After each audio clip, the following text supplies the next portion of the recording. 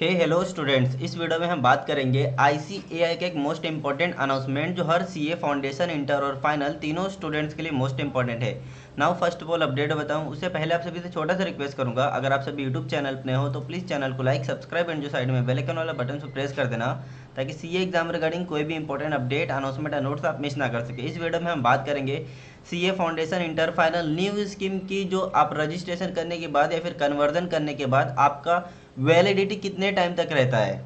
तो यहाँ पे आईसीएआई ने उससे regarding already announcement update release कर दिया देख सकते क्वेश्चन नंबर थ्री यहाँ पे। एक आते हैं स्टूडेंट्स के माइंड में। I have a register for I have a register for foundation course under the old scheme what will be the validity my foundation course registration after the conversion of the new scheme of education and training यहाँ पे simple सा इसका मतलब है, आपने old scheme का student हो CA foundation का, और आप कन्वर्जन करके न्यू स्कीम में आ गए हो तो आपके माइंड में डाउट है, सर वैलिडिटी कितने दिन का रहेगा, कितने टाइम पीरियड का रहेगा? तो यहाँ पे एक क्लियरली मेंशन किया गया है कि चार साल तक आपकी जो वैलिडिटी होगी कोर्स की, चार साल तक बढ़ जाएगी। मतलब कि न्यू स्कीम में आप चार साल तक वैलिडिट रहेंगे। आफ्टर दैट एक सी ए फाउंडेशन के माइंड में सी ए इंटरमीडिएट स्टूडेंट्स के माइंड में डाउट आता है।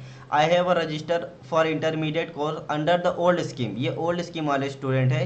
And what will the validity of my intermediate course registration after the conversion to the new scheme of education and training तो यहाँ पे अगर आप ओल्ड स्कीम का स्टूडेंट हो आईपीसीसी वाला हो या फिर सी इंटरमीडिएट ओल्ड स्टूडेंट्स हो, और आप कन्वर्जन करके न्यू स्कीम में आ रहे हो तो यहाँ पे आपके रजिस्ट्रेशन की वैलिडिटी बढ़ जाएगी पाँच साल तक।